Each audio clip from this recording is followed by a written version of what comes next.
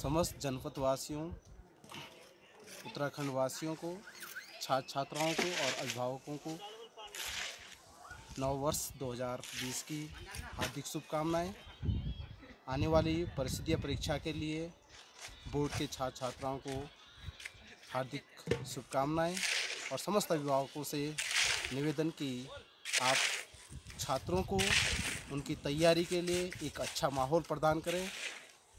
एवं ताकि वह जो आने वाली परीक्षा है, उसमें अपना सर्वश्रेष्ठ दे सकें। एक बार पुनः सभी को नव वर्ष की हार्दिक शुभकामनाएँ।